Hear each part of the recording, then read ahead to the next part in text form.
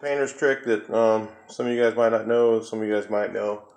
Uh, but I'm going to tell you my spin on it anyway, just because uh, if you know it, maybe you don't know this, or maybe you tried it and it didn't work, and you might want to listen to the whole video just so you find out. So, uh, if you have a difficult substrate, like let's say you have a glossy painted surface, you have a raw aluminum, you have, you know, um, something that paint's not normally going to stick to. Maybe you've got like uh, glass or something like that, or you want to paint something that's really smooth, really slick, and and you just paint over it, and, it'll nothing will stick. Regular primer is not going to stick. This is the product to use right here. Okay, uh, it doesn't stick to everything. Read the label behind it. Always do that.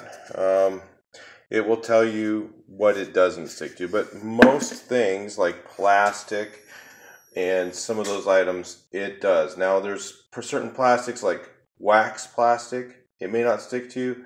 Um, if it's a paraffin based plastic, it nothing will stick to that. So um, keep that in mind. Um, and some of the, you know, uh, things like you know I you can take a high gloss paint you can go right over it with this product and it'll stick. Now if you've had problems and I'm gonna here's here's what the the most people do wrong with this product is they put it on too heavy. It is not meant to cover at all. You put it on you put on a very very light coat. In fact um, it's not even going to cover in one coat. It's not going to cover at all.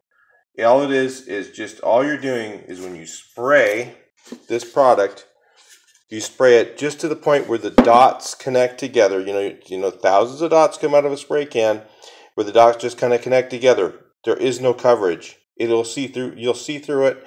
You'll see everything on the other side. Do not put two coats on. Put one coat. Now, what people do is they put on too much of this then you go to put the other material over it, and it's kind of sticky still, and the new paint will wrinkle. That's your fault. You did it wrong.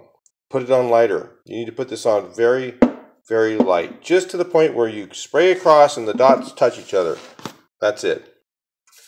Not uh, you're not trying to make it cover at all. So if you uh, have something like that that's difficult substrate, um, might want to try this product.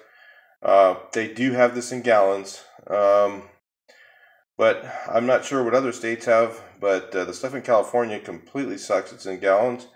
Um, I've had more problems with that uh, sticking to anything. They also have a water-based one, which that one might be better if you get that in the gallons. Like if you got a bunch of eaves, let's say you got a bunch of old eaves with oil base on them, you might want to try that product uh, in the water base and do a course like everything all the time. You do a test sample you put some on there, you try to scratch it off, one little area, try to scratch it off, and if it scratches off, then obviously it's not sticking.